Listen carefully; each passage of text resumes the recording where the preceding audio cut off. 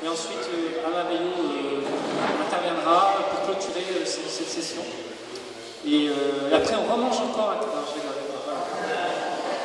C'est parti, un peu d'acier.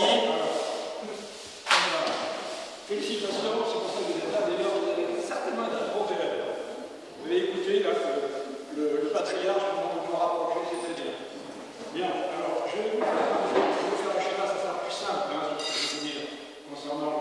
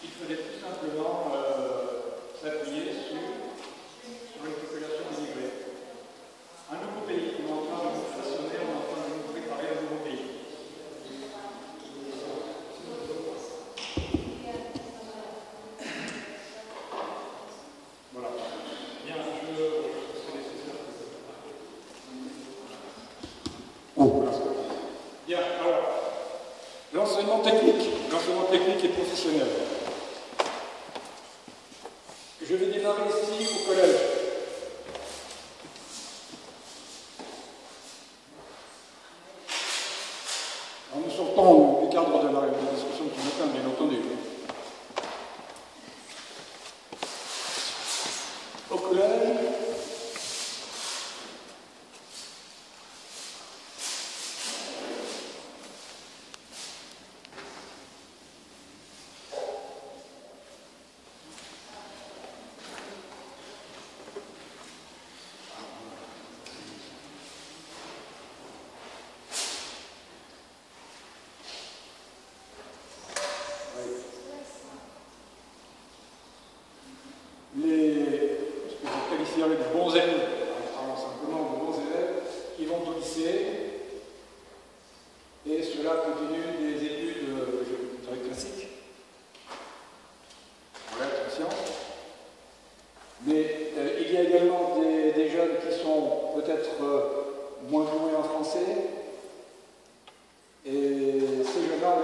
lycée, et ensuite ils font quoi? Eh bien, Ils sont dans la.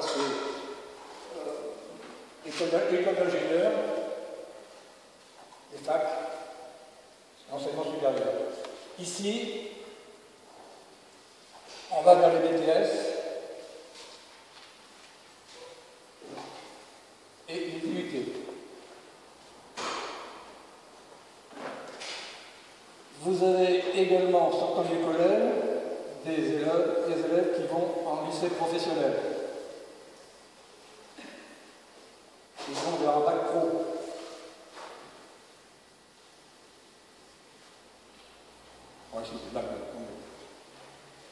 Vous avez également des élèves qui sortent et qui vont directement en apprentissage.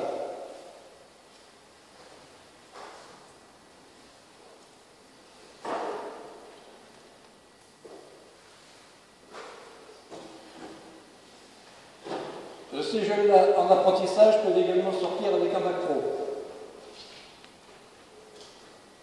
Et vous avez à côté ce qu'on appelle communément la formation professionnelle. Les formations professionnelles, elles ne sortent pas du collège, ce sont, ce sont des actifs, des actifs ou des chômeurs.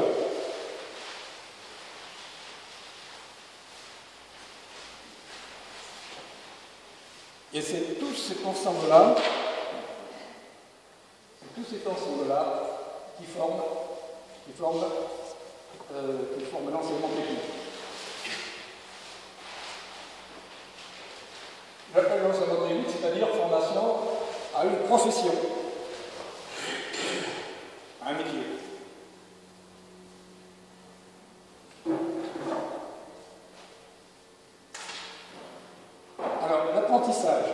L'apprentissage s'adresse, en fin de compte, malheureusement, à des élèves qui sont en situation d'échec. Des élèves du collège qui sont en situation d'échec, qui sortent déjà, certains dès la cinquième. Mais il se trouve que pour arriver à un bac professionnel, au travers de l'apprentissage, il y a quand même une certaine maturité du, du jeune. Le jeune, quand il sort de cinquième, il est très jeune. Arrivé au bac pro, il a 17-18 ans certains. 17-18 ans ne permettent que quand on est sorti du collège en cinquième, voire en quatrième. Ça leur permet, dans ce cas-là, ils ont, ils ont évolué, ça leur permet de rattraper certains, on les retrouve ici. Et certains du BTS, on les retrouve dans les écoles d'ingénieurs. Voilà un des parcours que l'on peut, que l'on connaît de l'apprentissage. Dans le lycée professionnel, ça se fait dans le cadre du lycée professionnel, sorti même chose que le bac pro, même titre que celui-ci. Et on retrouve énormément de jeunes qui sortent bac pro, qui vont vers un BTS, qui vont également en IUT, et parfois on les retrouve dans une école d'ingénieurs. Et il est reconnu que souvent des, jeunes qui sortent du lycée professionnel, qui sont bien entendu considérer en situation d'échec pour ne pas aller au lycée, en fait c'est le lycée technique, lycée général et technique. Eh bien, on retrouve ces jeunes-là qui sont passés par le bac pro, donc qui sont un peu plus âgés que les autres quand même. Hein. On les retrouve parmi les meilleurs qui sortent du BTS. Et on en trouve beaucoup qui vont, qui dans les écoles d'ingénieurs. Alors ils ont un parcours qui est plus long, qui est plus varié, l'imprégnation plus lente, mais ça fait d'excellents sujets. La la voie royale du lycée technique, ce sont les jeunes qui sortent du collège pour quelques difficultés en français, bien souvent c'est souvent en français et en langue, qui se retrouvent dans le lycée technique et qui, euh, à l'issue du, du lycée technique, passent au bac technique. C'est un bac qui est général, très général, scientifique et technologique. Beaucoup continuent vers un BTS et technique, et souvent se retrouvent ingénieur. Alors je trouve également aussi que certains du lycée technique viennent ici directement, partent en fac, partent dans des écoles, écoles d'ingénieurs. Voilà, alors ça c'est l'enseignement, disons, l'enseignement de l'éducation nationale, et ici c'est l'enseignement professionnel, hein, l'apprentissage. C'est strictement professionnel. on parle aussi de la formation professionnelle, et c'est là où parfois on fait la confusion. Des enseignements professionnels, entendu, etc. On parle de formation professionnelle. Cette formation professionnelle s'adresse uniquement aux personnes qui sont en activité, ce sont les actifs. Et le plus souvent, c'est pour une spécialisation ou pour remettre, se remettre à niveau dans leur propre profession. Et c'est également réservé aux chômeurs, en principe. Or, euh, aujourd'hui, c'est pour ça que je amené d'ailleurs, ça ne date pas d'hier. Il y a un journal qui ose sortir que 32 milliards qui sont réservés à la formation professionnelle, les 32 milliards vont alimenter des caisses de syndicats, patronaux et employés alors là, je, suis tombé sur les fesses quand on voit les, formations qu'ils font, parfois c'est aberrant. C'est des cours de ski, des choses de ce genre. On comprend pourquoi aussi beaucoup certains syndicats ont des châteaux, comme vous avez pu le constater même fois.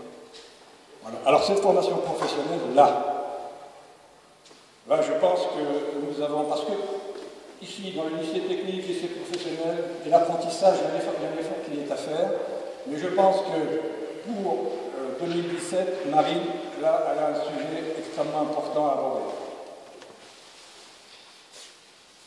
Je crois que c'est sur cet aspect-là et sur l'apprentissage également qu'elle devra, devra porter son effort. Voilà, je ne sais pas si euh, je vous ai apporté quelque chose. Je me suis placé purement là sur le plan, technique, hein. mais euh, certains d'entre vous certainement connaissent peut-être ces différentes filières. Alors, quelles sont les, améliorations que l'on pourrait apporter? Je pense que les améliorations pourraient être apportées à ce qu'on a débattu ce matin, c'est-à-dire au niveau de, l'enseignement primaire, parce que s'il y avait moins d'échecs en primaire, il y aurait moins d'échecs en collège, et il y aurait moins d'échecs ensuite euh, après le collège, hein, c'est-à-dire au niveau du lycée, forcément. Parce que les bases, les bases sont assurées par l'enseignement primaire. Voilà.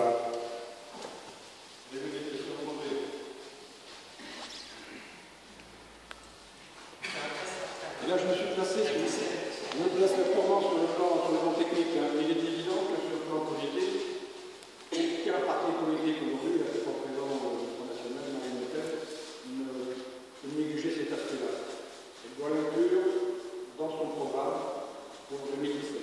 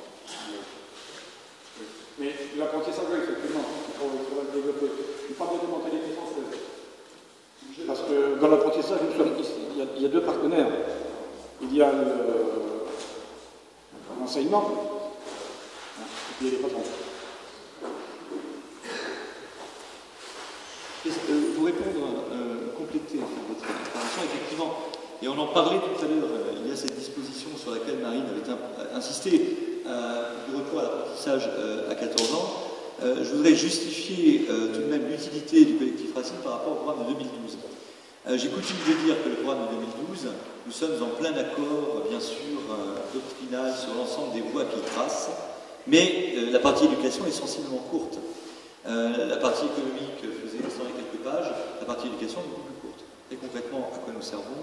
À élaborer une partie éducation au moins égale à celle de la partie économique du programme de 2012. donc voilà, c'est simplement ce point-là que je voulais ajouter. La deuxième chose, euh, c'est que euh, j'ai évoqué tout à l'heure rapidement la mise en place de nos groupes de travail euh, nationaux thématiques. Or, il se trouve, et ce qui n'est sans doute pas tout à fait un hasard, que le premier groupe de travail s'est mis en place et qui est le plus effectif pour l'instant, c'est précisément un groupe sur la formation professionnelle. Nous allons constituer, et M. Dacier a très bien expliqué cela, nous allons constituer des pôles à l'intérieur des groupes de travail.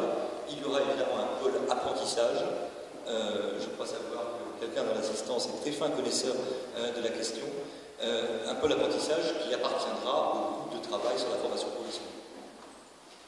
Alors, l'apprentissage, au sens strict apprentissage ou au sens large formation professionnelle Parce que dans la terminologie actuelle, formation professionnelle, c'est très spécifique, c'est ouvert aux actifs et aux chômeurs. Et c'est là où il y a 32 milliards d'escroqueries. C'est important ça. Hein c'est ouvert. En formation professionnelle, c'est ouvert aux gens majeurs aussi. Oh, oui, en principe, oui, effectivement, en principe. Mais... Oui, c'est là, on fait des stages, on fait des stages de formation. En principe, c'est pour oui, c'est destiné aux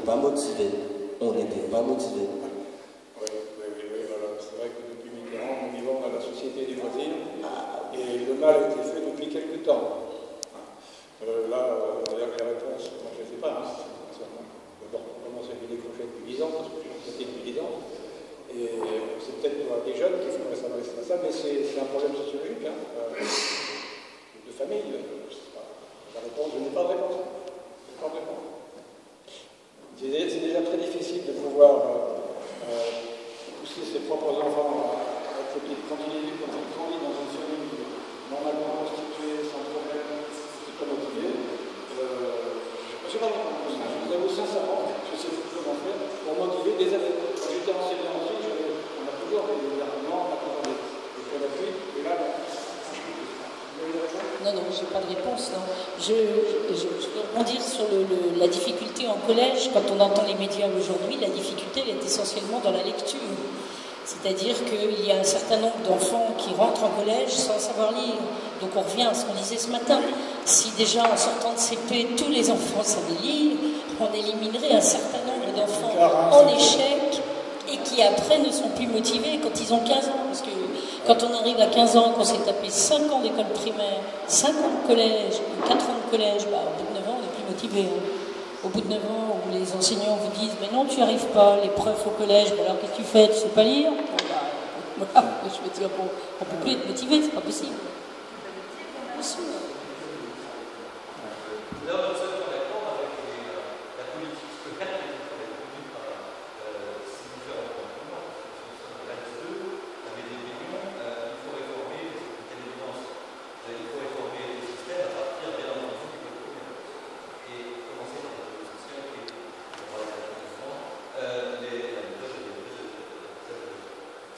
Pas la réforme de la semaine scolaire. Parce que qu'un enfant travaille le mercredi ou pas, enfin je veux dire, ça change rien. On le gros problème n'est pas là. Quoi. il faudrait enfin qu'on attaque les vrais Espérer, espérer euh, dans les ministres, espérer en les ministres qui, qui défilent depuis quelques années, euh, c'est s'adresser au système. Or, ce que nous vivons aujourd'hui, c'est le résultat du système depuis 30, 40 années de, destruction. Pour reprendre le mot que tu, trois fois tu l'as prononcé destruction ce matin. C'est ça. Ça sera difficile. Hein. C'est pour ça que c'est pour ça qu'il faut s'unir. Il faut s'unir et puis euh, diffuser autour de nous.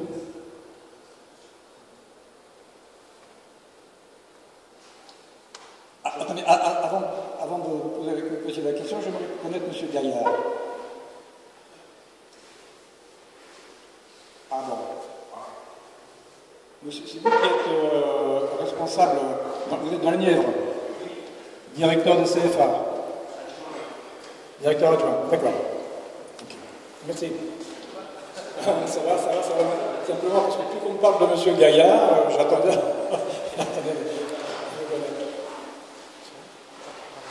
oui, merci. En fait, j'enfonce peut-être, ou même certainement une porte ouverte en, disant ça, mais je pense que vous l'avez évoqué. Moi, déjà, je ne suis pas du tout dans l'éducation, je n'y travaille pas.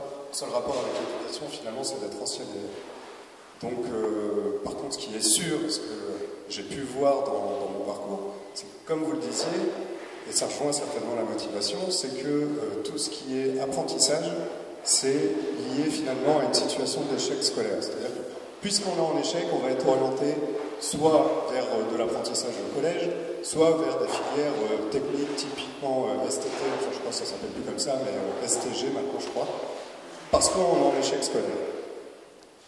Bah, je crois que la motivation, elle est là, qu'elle est perdue là. C'est-à-dire, puisqu'on est en échec, puisqu'on en échec, on va être un peu transféré dans des voies de garage. Et peut-être que la motivation, elle consiste tout simplement à dire que l'apprentissage, c'est pas une voie de garage, que c'est justement quelque chose de concret et qui apporte énormément.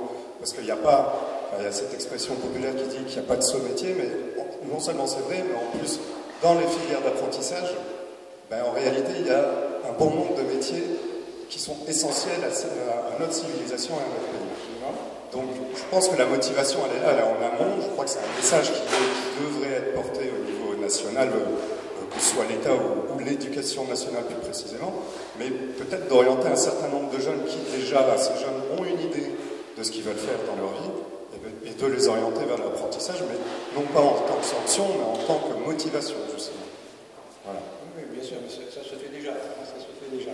Mais ça, la motivation, si, si, ça se fait déjà, ah, c'est pas, important, mais euh, c'est pas, ce qui fournit les gros bataillons de l'apprentissage, les, choix, les choix volontaires. Mais la motivation, ça, je sais pas, si quelqu'un sait aujourd'hui comment maîtriser le problème de motivation, ça, je serais heureux de l'entendre. Mais en commençant par revaloriser aux yeux,